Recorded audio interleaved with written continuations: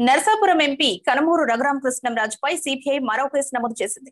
బ్యాంకులకు కోట్లాది రూపాయలు ఎగవేసినందుకు ఆయనపై ఇటీవల సిబిఐ కేసు నమోదు చేసి ఏకకాలంలో ఆయన ఆఫీసు ఇళ్ళపైన సోదాలు జరిపిన సంగతి తెలిసిందే. తాజాగా ఫోర్జరీ పత్రాలతో బ్యాంకులకు టోకరా వేసినందుకు సిబిఐ కేసు నమోదు చేసింది. పథకం ప్రకారం ఫోర్జరీ పత్రాలతో రెండు వందల ముప్పై ఏడు పాయింట్ ఎనిమిది నాలుగు కోట్ల రూపాయల రుణం తీసుకుని మోసం చేసినట్లు Chennai SBI DGM S Ravichandran పేర్కొన్నారు.